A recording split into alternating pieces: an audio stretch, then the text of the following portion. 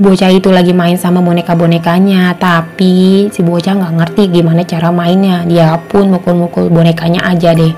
Dan ternyata bonekanya hidup dong.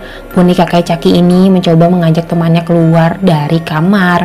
Tapi sayangnya nggak berhasil dong. Dan boneka kayak caki ini mencoba kabur dari kamar dengan cara mainan ini dong guys. Dan akhirnya dia berhasil keluar dari kamar. Tapi sayangnya diambil lagi deh sama tuh bocah. Dan tuh bocah nyakitin lagi deh boneka itu dan boneka itu pun ngelempar sesuatu dan mengenai ke ibu si bocah dan tersadar ibu si bocah pun ngedeketin anaknya dan ngelihat anaknya lagi nyakitin boneka caki itu dan ibu pun mengambil boneka caki itu guys dan si ibu tersadar kalau itu adalah boneka kesayangannya dulu waktu kecil. Di suatu tempat ada kafe di mana pemiliknya seorang wanita bernama Cat. Cat selalu melayani pelanggannya sendirian dong guys. Dia pun tampak rajin dan gesit banget ya. Karena terlalu bersemangat dalam bekerja, Cat pun sampai tersandung tangga dong dan membuat kakinya terkilir. Kasihan banget ya. Tiba-tiba ada robot putih yang membantu menolongnya dan membantu menyembuhkan kakinya Cat. Robot putih ini pun membantu menyembuhkan kakinya Cat dan menyuruhnya untuk beristirahat. Karena Cat nggak mau kehilangan pelanggannya, robot putih itu pun menggantikan Cat selama masa penyembuhan. Tapi Cat nggak percaya dong. Akhirnya dia memasang CCTV di kucingnya. Tapi sayangnya hal itu gagal guys karena kucingnya memainkan CCTV-nya. By the way, kalian tahu gak nama karakter robot putih itu? Coba komen ya guys. Lanjut part 2. Robot putih pun melayani pelanggan dengan sangat lambat. Hal itu pun membuat para pelanggannya kesel dan jenuh dong. Akhirnya Cat pun turun tangan dan membantu melayani pelanggan secara diam-diam tanpa sepengetahuan pengetahuan si robot putih tapi akhirnya ketahuan juga dong sama si robot putih dan robot putih pun nyuruh Cat istirahat. Tapi sayangnya Cat bantuin lagi secara diam-diam. Hal itu pun terus dilakukan secara terus menerus sampai akhirnya Cat kesel dan bilang sama si robot putih kalau dia udah merasa baikan. Tapi lagi-lagi dia kesandung dong dan membuat kakinya makin parah. Cat pun menjelaskan ke si robot putih kalau dia nggak mau kehilangan pelanggannya nggak mau tokonya tutup dong.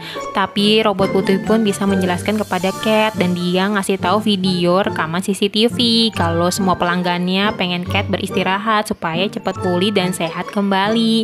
By the way, kalau kalian punya teman kayak si robot putih, kalian seneng atau enggak guys? Coba komen ya. Debu-debu ini tinggal di rumah kosong dan mereka bakal segera dimusnahkan sama si cewek ini menggunakan vacuum cleaner. Debu-debu pun langsung lari ketakutan dong. Mereka lari terbirit-birit, tapi sayangnya salah satu dari mereka ada yang masuk dong ke dalam vacuum cleaner. Salah satu temannya pun berinisiatif buat mencabut kabel alat tersebut dan berhasil dong untungnya ya. Cewek pun kebingungan kenapa tiba-tiba alatnya mati. Ketika si cewek sedang lengah, salah satu debu masuk dong ke alat vacuum cleaner dan berusaha mengeluarkan teman-temannya yang masuk ke dalam alat tersebut. Akhirnya mereka berhasil keluar dong dari alat tersebut, tapi sayangnya ketika baru keluar alatnya dinyalain lagi deh. Salah satu temannya ada yang masuk lagi deh ke dalam vacuum cleaner itu. Akhirnya debu-debu itu pun bekerja sama untuk melawan si cewek itu guys. Si cewek itu pun akhirnya jatuh kelilit kabel dan masuk ke dalam vacuum cleaner. Dan vacuum cleanernya ditendang keluar deh sama debu-debu itu. Menurut kalian debu-debunya jahat atau baik ya? Kucing oranye ini tertarik dengan rumah misterius itu. Dia pun mencoba masuk, tapi sayangnya pintunya terkunci. Kucing itu pun mencoba memanjat pohon dan masuk lewat loteng. Dia pun berhasil masuk, tapi sayangnya banyak barang-barang yang dia rusakin dong. Di sana dia bertemu dengan tikus. Si tikus takut dengan kucing. Kucing pun juga takut dengan tikus.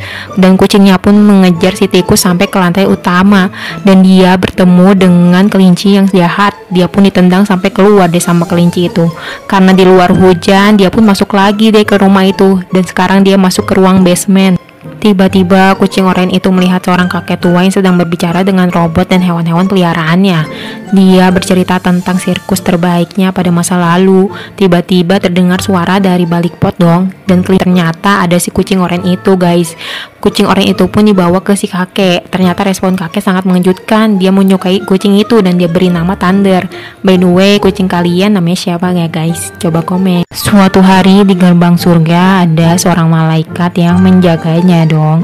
Tiba-tiba muncullah seorang pria yang baru meninggoy dan dia pun memberikan amalan-amalan selama hidup di dunia ke malaikat itu. Malaikat itu pun membacanya secara rinci. Namun sayangnya amalan itu pun ditolak dong untuk masuk ke surga. Lalu dengan jahatnya si malaikat itu pun mempermainkan pria itu dong. Pria itu dipermainkan dengan menggunakan tuas kursi awan miliknya. Karena sambil makan dengan donat si malaikat itu pun terselak dan dia pun terjatuh tapi dia nggak bisa terbang dong walaupun dia punya sayap. Dan pria itu pun menolong malaikat itu. Bukannya berterima kasih si malaikat itu malah ngejatuhin pria itu dong. Tapi ajaibnya si pria itu memiliki sayap dan dia pun bisa masuk ke surga. Sedangkan malaikatnya berubah menjadi iblis dan kehilangan sayapnya. Kalau kalian jadi anak baik pasti kalian masuk surga deh. Para tukang alpukat ini lagi mau ganti cat rumah, tapi tiba-tiba salah satu temannya menemukan ruangan yang sangat dingin. Dia pun mencoba masuk, tapi sayangnya ruangannya sangat dingin dan dia pun hanya menutupi dengan lemari dan langsung pergi gitu aja.